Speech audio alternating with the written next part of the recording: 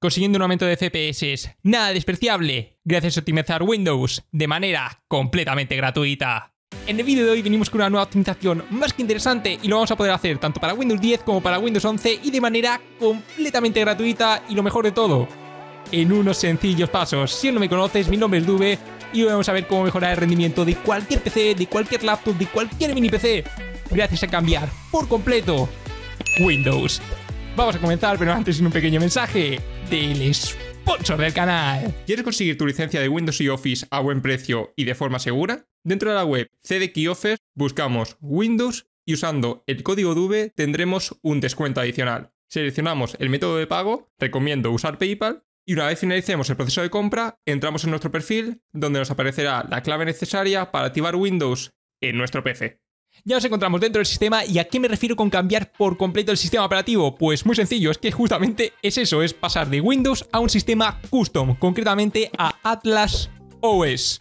Vamos a abrir el navegador y vamos a comenzar para entender bien de lo que estamos hablando. Y ya dentro de la web de Atlas OS podemos ver básicamente todo lo que vamos a hacer, y ya os digo que no son pocas cosas, se hace todo en unos sencillos pasos porque es un script totalmente automatizado, pero lo que se enfoca básicamente es en optimizar por completo Windows, reduciendo muchísimo los servicios y haciéndolo todo. Lo que hemos hecho en bastantes vídeos, pero hacerlo absolutamente de manera automática y muy fácil. Ya os digo que es algo un poquito tryhard, así que os recomiendo encarecidamente que hagamos punto de restauración del sistema. Antes de proceder a hacer cualquier cambio, tenéis vídeo en el canal, os estaré mostrando ahora mismo la miniatura. Es muy importante hacer un punto de restauración, básicamente, pues si nos repetimos y queremos volver atrás, pues tener siempre ese punto de restauración que nos va a permitir tener esa tranquilidad y esa seguridad. Para proceder a ello le damos a Get Starter. Lo primero que nos indica Atlas OS es ver la guía de instalación y el FAQ por si tenemos algunas dudas. Le vamos a dar a ver la guía. Y una vez revisamos la guía, si no entendemos muy bien el inglés, podemos darle a botón derecho traducir al español. Y aquí lo que nos dice es que necesitamos descargar la ISO de Windows Sirve tanto Windows 11 como Windows 10 sin ningún problema. Aquí nos dice la 23H2, pero también funciona con la 24H2 muy nueva que ha salido recientemente, así que no hay ningún tipo de inconveniente. Y nos comenta toda la guía que vamos a ver. Aquí básicamente lo que voy a hacer es saltarme todos los pasos de cómo instalar Windows, porque eso ya lo hemos explicado en varios vídeos. Y nos vamos a pasar directamente al paso 5, que es la instalación de Atlas OS. Si volvemos a la página web, le decimos que ya hemos visto obviamente la guía y necesitamos estos dos archivos, el Playbook y el Wizard. Son totalmente imprescindibles, así que necesitamos descargar ambos. Le damos a Atlas Playbook y AME Wizard. Son archivos que no pesan prácticamente nada, así que se descargan en un momento.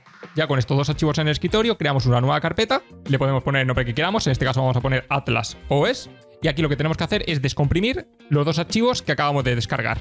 Y ya los dos archivos comprimidos lo podemos eliminar donde nos encontramos con un total de tres archivos. El primero que tenemos que ejecutar es el Disable Automatic Driver Installation. Esto lo que va a hacer es, como su nombre indica en inglés, deshabilitar lo que viene siendo la instalación automática de drivers. Así que con esto, pues no corremos ningún tipo de riesgo. Le decimos que sí y aceptar. Y ahora el siguiente paso es abrir el wizard. Le decimos que sí, que no hay ningún tipo de problema, ejecutar de todas formas. El siguiente paso es arrastrar este Atlas Playbook versión 4.apbx y lo arrastramos justamente a esta sección de aquí y una vez ya lo hemos arrastrado y el wizard lo ha detectado, aquí nos encontramos con Atlas OS versión 4.0 en el momento de la grabación de este vídeo. Si más adelante pues salen nuevas versiones muy interesantes y que merezca la pena comentarlo, pues por supuesto lo traemos al canal. Así que por eso te recomiendo que estés suscritos para no perderte ninguna novedad. Ahora el siguiente paso es darle aquí a Run Action para deshabilitar todo lo que viene siendo el tema de seguridad en Windows. No os preocupéis porque lo que vamos a hacer es deshabilitar el Windows Defender, pero va a ser momentáneo. Esto no quiere decir que vamos a tenerlo siempre así, pero para que se ejecuten bien todos los scripts y Windows no de problemas, necesitamos deshabilitarlo momentáneamente.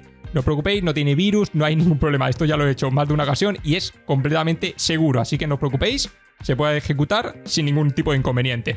Hacemos clic en Open Windows Security y hay que marcar estas cuatro palomitas, estos cuatro check. Le decimos que sí, que estamos seguros y de nuevo volvemos a confirmar.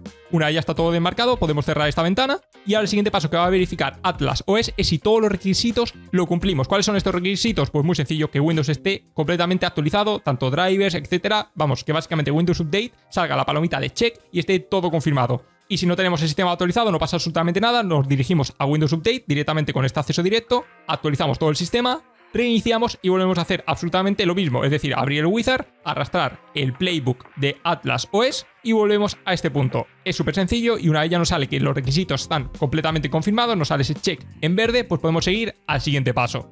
Aquí básicamente pues lo de siempre, tenemos que vender nuestra alma al diablo, es decir, aceptar los términos de licencia, aquí no pasa absolutamente nada, lo podemos leer, no son muy largos, pero bueno, ya os digo que consiguiente es más que suficiente.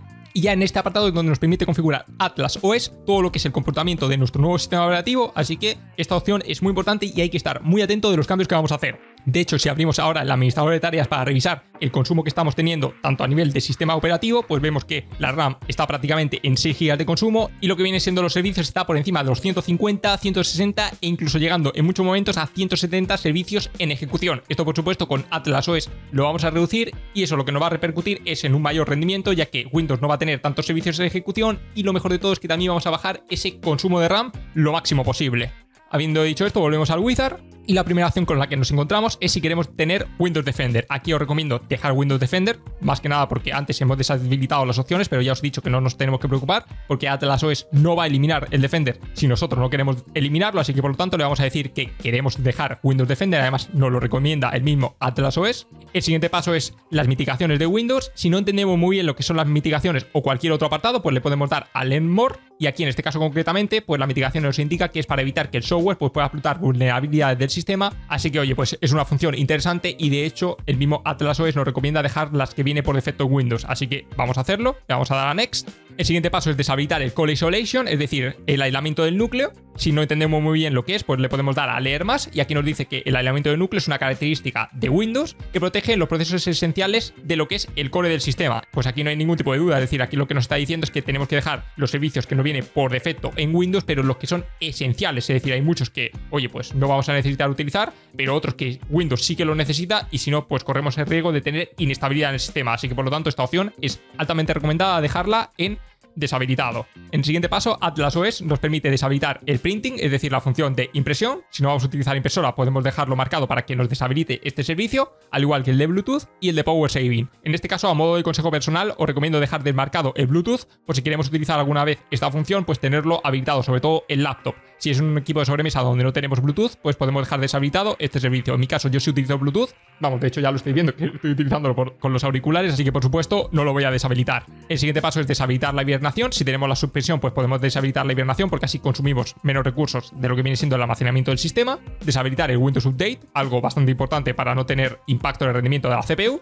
Y una cosa interesante es el Remove Snipping Tool. Esto es básicamente, no sé si lo lograré mostrar con la capturadora, esta utilidad no es otra que la herramienta de recortes de Windows a mí personalmente sí que me gusta mucho utilizarla. Vamos, prácticamente para lo que son los vídeos y demás lo suelo utilizar bastante, así que mi consejo es no eliminarla, pero si nunca la he utilizado y no sabía ni que existía, pues la puedes eliminar. Son servicios que te puedes ahorrar de que estén ejecutando en el sistema, pero en mi caso sí que la utilizo, así que por lo tanto voy a desmarcar esta opción. Y otras características interesantes es deshabilitar las notificaciones, eliminar el Microsoft Edge, es decir, el navegador que no viene por defecto en Windows. Sí que es verdad que el Edge ha mejorado bastante y no es como el Internet Explorer antiguo, así que a mí el Edge me gusta bastante, pero si prefieres el Chrome, Firefox, Opera o cualquier otro navegador, pues lo puedes eliminar y dejarte solamente el navegador que más utilices. Yo en este caso le doy a Keep Mine porque ya tengo un navegador a mi preferencia instalado en el sistema. Ya por último le damos a OK y aquí nos confirman esta palomita que todos los requisitos están completamente confirmados, es decir, ya simplemente le damos a Next y ya empieza toda la configuración de Playbook para pasar de Windows a Atlas OS. Y mientras se va haciendo toda la instalación de Atlas OS, vamos a aprovechar para ver la nueva incorporación del canal, y es este controlador más que interesante de Easy SMX el X20.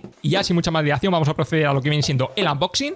Lo primero que nos encontramos es el control X20. Lo hay en dos acabados, tanto en negro como en blanco. Aquí he seleccionado el blanco, pero bueno, esto por supuesto podéis elegir el color que más os guste. Y el siguiente accesorio es el dongle USB, que nos permite conectarnos directamente al PC de manera inalámbrica. Aunque ya os adelanto que este control también permite conectarse a Nintendo Switch o bien a cualquier dispositivo móvil, simplemente cambiando una pestaña en la parte posterior. El otro accesorio que no puede faltar es el cable USB-A a USB tipo C. Y ya por último, el mítico instructivo que todos sabemos que siempre está ahí, pero que nadie se lee. Y ya pasando directamente a este X20, las primeras impresiones son bastante buenas, tiene un tacto muy agradable. En lo que vienen siendo los laterales, tiene un acabado que podríamos decir que es un tanto áspero, pero que eso ayuda a que el agarre sea bastante bueno. Los botones tienen un acabado mecánico, una terminación muy similar al teclado de un PC y una característica que me ha llamado la atención es que los joysticks se pueden retirar. Me imagino que la marca venderá luego joysticks un poquito más largos, porque hay gente que le gusta cambiarlos y que sean más altos. En la caja no te vienen incluidos, así que me imagino que serán accesorios que venderán de manera adicional. Y hablando de futures, que me ha llamado la atención son estos gatillos L2 y R2 tiene una terminación doble. ¿Eso qué significa? Que podemos utilizarlos o bien de forma adaptativa con un recorrido completo o bien bloquearlos para que tengan un tacto clicky como el del R1 y el L1. Esto me ha parecido una función extremadamente interesante y que no sabía que se podía hacer. Sí que es verdad que la gran mayoría de juegos estamos acostumbrados a ya utilizar el L2 y el R2 de manera adaptativa. Pero sí que es cierto que hay determinados juegos, sobre todo en Emu Gaming, que se agradece poder cambiar entre estas dos funciones y que el tacto, en vez de que siga siendo adaptativo, que pueda ser a esa terminación clicky. Y si aprovechamos a bajar un poco la luz para apreciar bien este RGB cuando encendemos el mando, pues tiene unos efectos bastante buenos, sobre todo en el joystick. Esto la verdad es que te puede gustar más o te puede gustar menos, pero para cuando estás jugando de noche, pues se agradece tener estas luces porque así ves mucho mejor el control. Además ilumina incluso los botones A, B, X, Y y básicamente, a modo de resumen, lo que puedo decir de este X20 es que es un control bastante bueno, no tiene nada que envidiar a los de las principales marcas, ya sea el de Xbox o el de PlayStation, y os lo digo completamente en serio, es un control muy bueno y sobre todo versátil, ya que permite usarlo en prácticamente cualquier plataforma. Así que si estabas buscando un control bastante bueno y sobre todo, repito, versátil, voy a dejar el link abajo en la descripción con un pequeño cupón descuento para todos aquellos a los que os haya llamado la atención este X20 y así podéis comprarlo al mejor precio posible. Y pasados unos cuantos minutos y que se haya hecho el reinicio correspondiente, ya está disponible Atlas OS. Y aquí la mejora directamente es la que podemos observar. Los servicios han bajado considerablemente pasando de 160 a 170 a menos de 70. Es una completa pasada. Y si ahora pasamos a revisar el consumo de RAM, el total es de 3 GB. Esto es sumamente interesante para equipos con RAM limitada.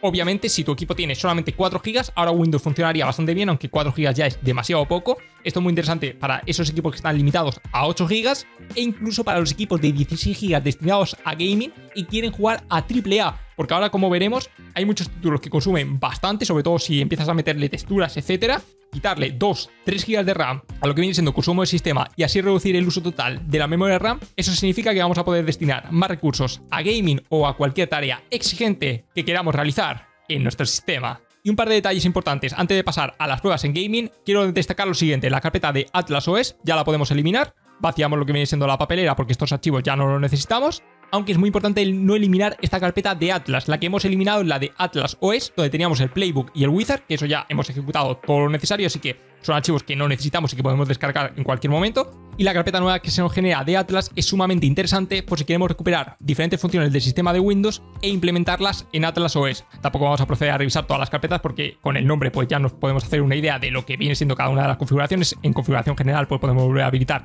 el Bluetooth, los servicios de impresión, entre otras funciones que nos permite Atlas OS volver a recuperar de Windows 11. Ya os digo que esta carpeta es muy importante no eliminarla. Y eso sí, antes de pasar a las pruebas en gaming, ya por último vamos a revisar el tema de Windows Defender y aquí podemos observar que Atlas OS ya directamente activa todo lo que habíamos deshabilitado en la instalación, así que como os había dicho, no os preocupéis porque Windows Defender sigue funcionando perfectamente. Y ahora sí que sé que lo que estáis deseando, vamos a pasar a pruebas en game para ver la mejora de rendimiento con Atlas OS.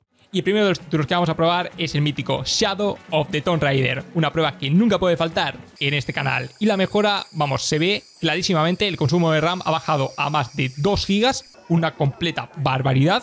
El frame también se ve más estable y también tenemos algo más de FPS. Ya os digo que la mejora no es enorme, pero oye, son FPS que estamos consiguiendo prácticamente de la nada al hacer dos clics y optimizar completamente Windows, así que es algo que se agradece considerablemente. Y el siguiente título es el Forza Horizon 5 y aquí sucede exactamente lo mismo. También tenemos una menor utilización de memoria RAM, la gráfica de frame time es algo más estable y por lo tanto subimos un poquito más los FPS. Aquí quiero volver a repetir que la mejora no es muy elevada, pero oye, se agradece que con tan solo dos clics que hemos hecho consigamos un aumento de FPS en cualquier sistema. Y el siguiente título que vamos a probar es el mítico Cyberpunk 2077 y aquí no me quiero repetir como una cebolla. Tenemos menos uso de CPU, menos uso de memoria RAM, una gráfica de frente ahí más estable y efectivamente más FPS. Bueno, sí, al final me he repetido un poco, no me lo tengáis demasiado en cuenta, pero si revisamos al final los FPS, pues el aumento es ligeramente superior, consiguiendo 3 FPS extra, que oye, pues no está nada mal y me puedes dejar en comentarios al aplicar este Atlas OS en tu sistema cuánto es la mejora que consigues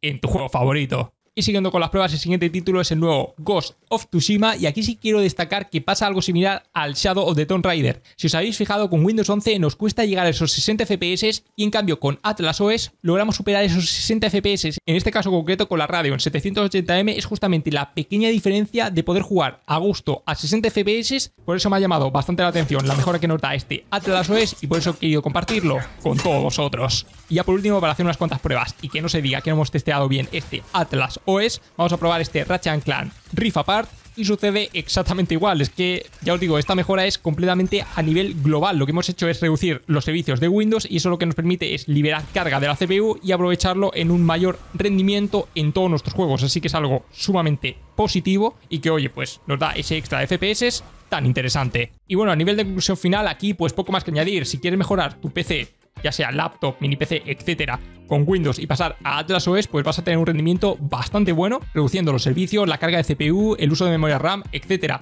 Más que nada no nos centremos en los FPS porque esto no es como lowless scaling o el mod FSR que nos multiplica los FPS. Aquí lo que estamos consiguiendo es básicamente que el PC sea lo más estable posible reduciendo el input lag. De hecho, he querido probar este sistema con un mini PC básicamente por lo mismo, porque gracias a hacer que sea el PC más estable, y ejecutar muchas pruebas en 2K, hemos visto como en Windows estaba por debajo de esos 60 FPS que le costaba llegar y en cambio con Atlas OS ha metido ese pequeño boost subiendo ya a los 60 FPS y haciendo que sea el juego más estable. Es decir, en PCs que no tienen muchos recursos en esas APU no tan demandantes, sin ninguna duda, tener este extra de rendimiento parece que no, pero todo suma. Por cierto, me estoy quedando sin voz ahí, ya como está llegando un poquito más el fresquito. Tengo algo de moco, pero bueno, no me lo tengáis demasiado en cuenta. Y bueno, lo dicho, antes de que me quede sin voz. Atlas OS es un sistema bastante bueno que me podéis hacer saber en comentarios la mejora que habéis tenido con vuestros respectivos sistemas. Y ahora sí, agradecer a los miembros que están suscritos al canal, que dan ese pequeño aporte económico y que ayudan a que sigamos creciendo y que, oye, pues si te gusta el canal y te gusta lo que estás viendo, pues oye, suscríbete porque, bueno, suscríbete a ti miembro sobre todo si puedes permitírtelo, porque es una pequeña ayuda que nos permite poder crear aún más contenido. Y ahora sí, no me enrollo más, espero que os haya gustado el vídeo, podéis dejar un buen like, comentario, todo lo que queráis, suscribiros al canal. Si aún no lo estáis, si estáis suscritos podéis compartir el vídeo que no cuesta absolutamente nada y a mí me hace muy feliz. Y nos vemos como siempre en el siguiente vídeo. ¡Hasta la próxima!